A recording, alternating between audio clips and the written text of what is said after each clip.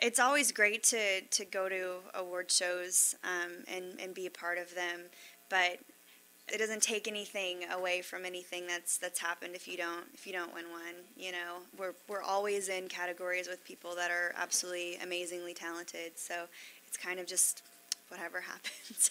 happens. I still got a job to do. I'm hosting, so it's like, oh, didn't win. Okay, where am I supposed to be? What am I wearing? What's going on?